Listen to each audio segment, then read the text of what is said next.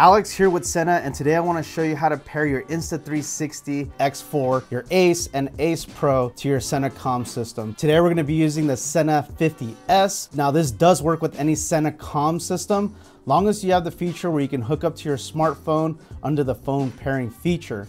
Now let's get into it. We're first going to start with the Insta360 X4. All right guys, so the first step you want to do is you want to make sure that your Sena device is turned on. As you can see, this unit's turned on and we want to put it in phone pairing mode. So what we're going to do is hit the phone button until you hear phone pairing.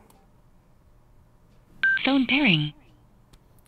Now the way you know you're in phone pairing mode is you're going to see these red and blue flashing lights. Now let's get the Insta360. Go ahead and get your Insta360 X4 and make sure that it's turned on.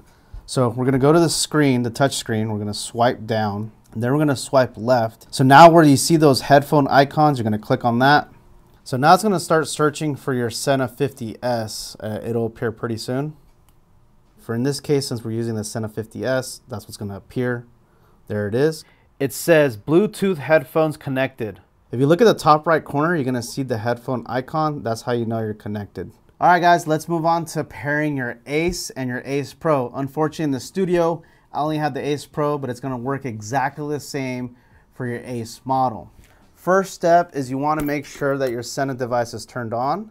Then you're going to press the phone button until you hear phone pairing. Phone pairing. That's phone pairing. The way you know you're in phone pairing, you're going to see the red and blue flashing lights. Next, you want to go ahead and grab your Ace Pro and go ahead and swipe down on the touch screen, then swipe left. And where you see the icon with the headphones, you're going to click on that. It's going to start searching for this product in particular, which is a Sena 50S. It already says connected. Go ahead and hit the arrow on the top left corner.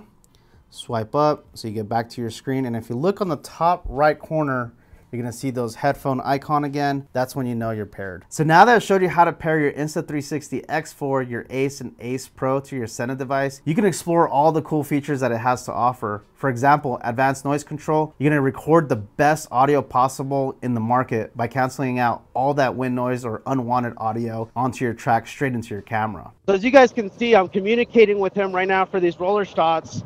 He's coming up closer and I can film him this is great when you're trying to shoot content and communicating with, especially for the motorcycle industry, where comms is a big thing. Yeah, I'd never thought about that, but being able to communicate while people are you know, doing video work or any kind of work. The second thing that you're gonna be able to do is do the voice command feature. So if you wanna start and stop your camera, all you have to say, start recording, stop recording, and you can keep your hands on the handlebars and be safe out there. Thank you guys for watching. I'll catch you guys on the next one.